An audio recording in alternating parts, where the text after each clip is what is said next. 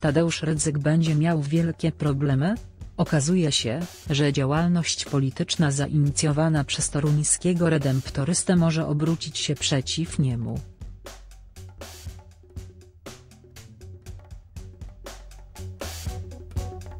Wszystko przez Jarosława Kaczyńskiego, który miał przestać tolerować zachowania duchownego.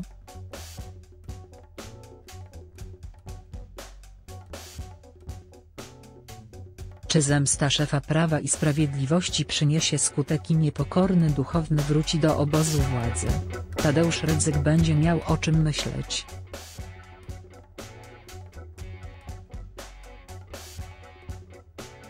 Toruński redemptorysta, który był ostatnio jednym z inicjatorów powstania własnej działalności politycznej, może poczuć się zraniony decyzją Jarosława Kaczyńskiego o wystawieniu na listach PiS w wyborach do Europarlamentu jednej z bardziej lubianych przez duchownego postaci polskiej polityki.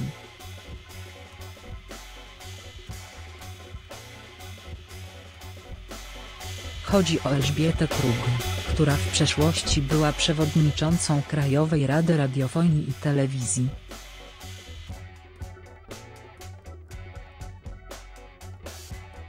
Spór o Elżbietę Kruk to właśnie związana z telewizją Trwam Polityk miała być jedną z twarzy ugrupowania, które utworzył Mirosław Piotrowski, powiązane z Rydzykiem.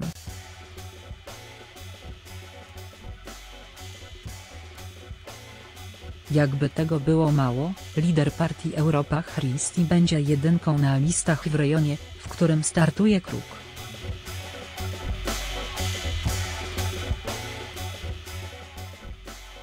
To nie przypadek, że w Lublinie jedynką jest Elżbieta Kruk.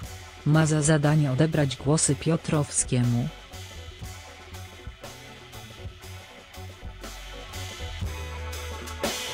Oboje kojarzeni są ze środowiskiem Radia Maryja.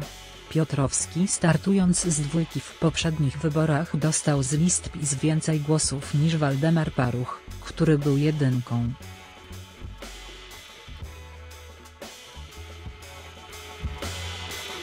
Teraz Kruk powinna zneutralizować zagrożenie ze strony Piotrowskiego, mówi nam polityk PiS z otoczenia prezesa Jarosława Kaczyńskiego.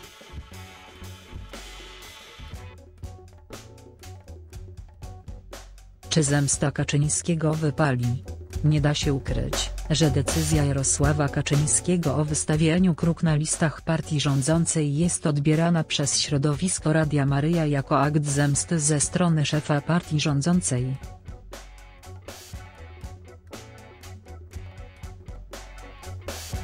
Podebranie Piotrowskiemu tak zasłużonej dla telewizji Trwam Polityk, może być jasnym sygnałem, że Jarosław Kaczyński nie obawia się nowej siły politycznej na polskiej prawicy, a wręcz zamierza je wchłonąć.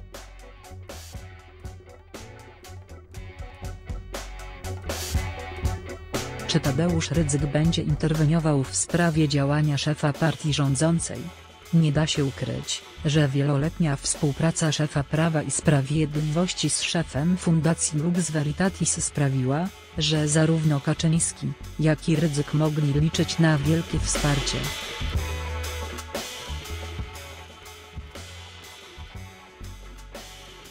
W momencie, którym redemptorysta postanowił zdystansować się od obozu obecnej władzy, między mężczyznami powstało niebezpieczne napięcie, którego kulminacja może mieć miejsce w trakcie wiosennych elekcji do Europarlamentu.